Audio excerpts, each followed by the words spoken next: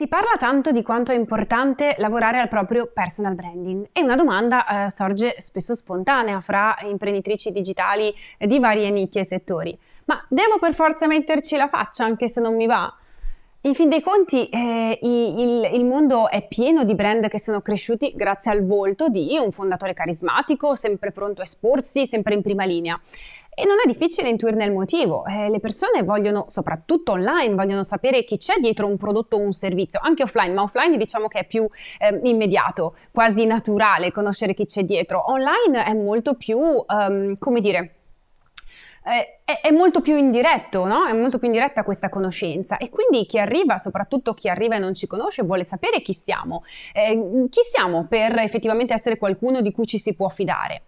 Ora, se da un lato non esporsi del tutto, mh, mm, a mio avviso perlomeno non è un'opzione, mm, perlomeno nel mondo digitale, Dall'altro eh, è possibile trovare un equilibrio sostenibile per chi è particolarmente introversa, eh, quindi ama lavorare instancabilmente dietro le quinte, ma lì vuole anche restare. In questa nuova puntata di Impact Girl condivido con te 4 spunti pratici per riuscire a coltivare il tuo personal brand senza sentirti a disagio e senza eh, compromettere quella che è la tua natura introversa. Prima però mi raccomando, se stai guardando questo video da YouTube, ricorda di eh, iscriverti al canale per ricevere una notifica ogni volta che c'è una nuova puntata e anche lasciarmi un commento sotto al video per dirmi che cosa ne pensi di questa puntata una volta che il video sarà concluso.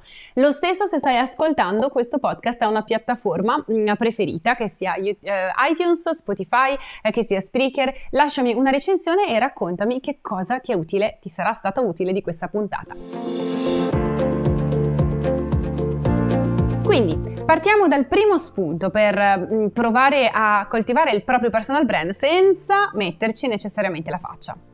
Il primo spunto è non tradire le tue inclinazioni, cioè eh, I contenuti, no? sappiamo, online sono il tuo biglietto da visita più importante, sono di fatto eh, la, la, tua valuta in un certo senso, è eh? il mezzo attraverso cui riesci a guadagnarti anche ehm, e riesci a, ad ottenere quella che è la fiducia di chi ti segue. Eh, perché? Perché attraverso i contenuti qualcuno che non ti ha mai sentito nominare ti scopre, eh, ti apprezza, ti conosce e comincia a fidarsi di te e della tua autorevolezza. Però se eh, parlare a video, se fare reels su Instagram ti mette incredibilmente a disagio, non parlare, scrivi, eh, utilizza un, invece del canale YouTube, utilizza il tuo eh, blog, invece di utilizzare eh, dei reels o delle foto tue, utilizza delle foto del tuo prodotto, delle foto che rappresentano quello che vuoi dire, ma che non sono necessariamente foto di te. Ogni tanto fatti vedere, ma non deve diventare una costante, perché se questa costante ti mette a disagio, in realtà ha soltanto un effetto controproducente sul tuo entusiasmo e la tua voglia di procedere. Il fatto che i video siano la moda del momento eh, non significa che questa moda vada seguita per forza. Eh, tra l'altro adesso stanno prendendo piede moltissimo anche eh, le versioni audio, non soltanto i podcast, ma anche le versioni audio dei, uh, dei, dei social network, ad esempio. Eh, eh, su Facebook ci sono adesso le audio rooms, ma anche Twitter ha iniziato eh, questa, questa, nuova modalità. Quindi eh, fai leva su quello che effettivamente esiste là fuori per eh, per poterti tenere fedele alle tue inclinazioni e allo stesso tempo farti conoscere. Piuttosto che seguire una moda, segui quello che ti fa stare bene e che ti aiuta a mantenerti costante. Eh, ti faccio un esempio di un imprenditore introverso di grande successo. Non so se amerebbe sapere che sto facendo questo esempio, però perché lui è molto introverso e molto timido. Si chiama André Chaperon, è un copywriter di fama mondiale che ho la fortuna di poter eh, conoscere personalmente e eh, André detesta farsi intervistare o registrarsi trasformarsi a video. non gli piace, tra l'altro lui è un copywriter, quindi ovviamente quello che ama fare è scrivere. Ecco, lui ha fatto del suo punto di forza, la scrittura naturalmente, e anche il mezzo preferito per comunicare con la propria audience. Quando scrive le sue email, quando scrive i suoi blog post, ti porta dentro questo mondo che ti sembra di, di vivere come se stessi guardando un film, un po' come quando leggi un libro ed entri proprio nella storia come se stessi guardando un film o addirittura meglio eh, del film. Condivido questo esempio proprio perché voglio dimostrarti che è possibile raggiungere il successo proprio, attraverso il proprio brand e farsi conoscere a livello planetario senza necessariamente doverci mettere la faccia.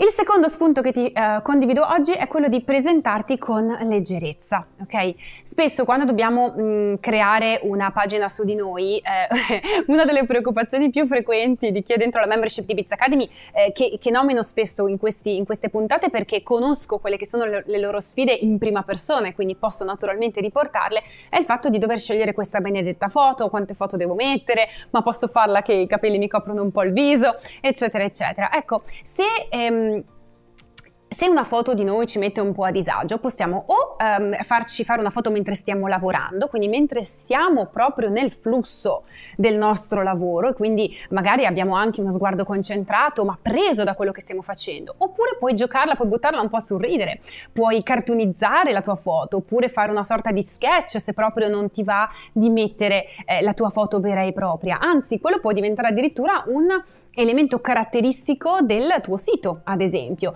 e puoi utilizzarlo anche per raccontare, per descrivere i profili di chi lavora con te, quindi senza necessariamente riempire la pagina di foto se eh, questa cosa non ti fa sentire a tuo agio. Ancora una volta, non compromettere quella che è la tua inclinazione, ma trasformarla in un punto di forza per diventare ancora più unica, per far sì che il tuo personal brand possa essere ancora, ancora più unico. Il terzo e penultimo spunto è quello di farti vedere senza mostrarti. Eh, un po' l'abbiamo anticipato nel punto 1, ma sui social puoi far vedere qualche piccolo momento del tuo uh, dietro le quinte, ma senza farti vedere, quindi fai vedere la tua scrivania piena di strumenti di lavoro, le tue mani in primo piano che lavorano, eh, gli strumenti del mestiere, non sentirti in obbligo naturalmente di, di farlo in ogni post, però sappi che c'è questa possibilità, quindi farti vedere senza farti vedere. Se fai formazione puoi eh, ad esempio utilizzare delle frasi, delle grafiche a carosello, carosello che riempiono di valore chi ti segue e contribuiscono quindi a offrire una certa credibilità anche senza mettersi a fare mille selfie, video o foto.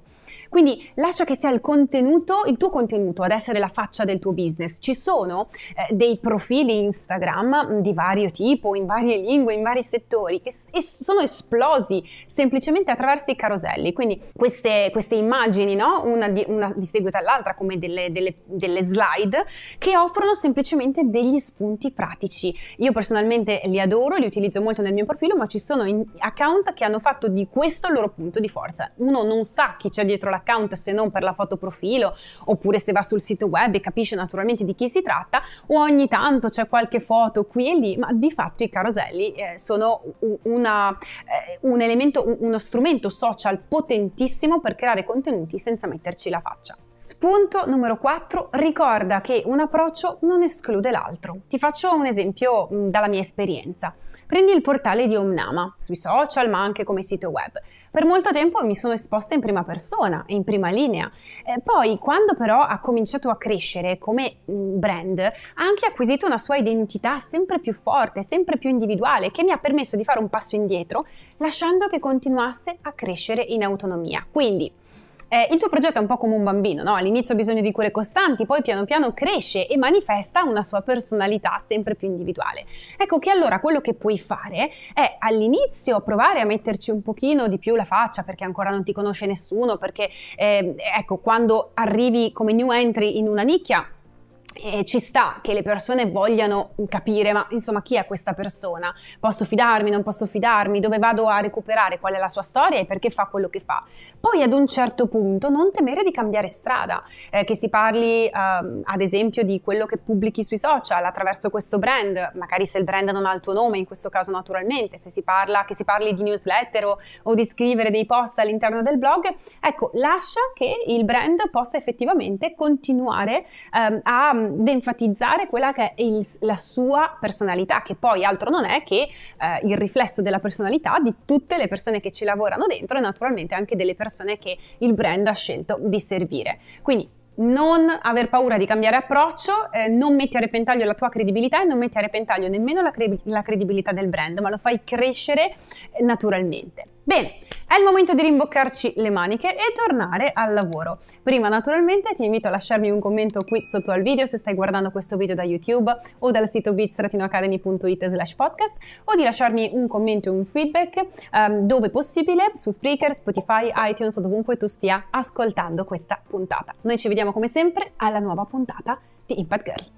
Questo è tutto per la puntata di oggi. Spero di averti dato qualche utile spunto che potrai implementare sin da subito.